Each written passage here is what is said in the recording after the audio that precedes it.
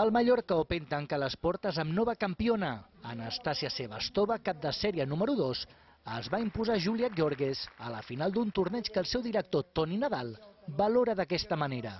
Bueno, ha estat interessant, hem vist bons partits. Eh, el dia de la final hem tingut eh, més públic, ojalà aquest públic pogués venir durant totes les setmanes, és veritat que, que hem tingut unes temperatures males de resistir, però jo crec que hem vist molt bon tennis, hem tingut l'oportunitat de veure jugar una de les jugadores millors dels darrers anys, na Hingis, un ex número 1 com Nazarenka, un altre ex número 1 com Najankovic, després en, eh, la campiona que en Sebastova, que és una gran jugadora, en Carla Suárez, jo crec que en línies generals el torneig ha estat eh, bastant bo. Martina Hingis i la taiwanesa Yun Jan Chan han estat les campiones en el quadre de dobles, després que precisament Sebastova i Jelena Jankovic es retirassin per la lesió de la primera.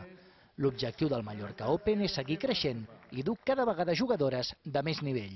Que se cerca és dur gent important, que és el que treuen el públic, eh, de vegades és complicat.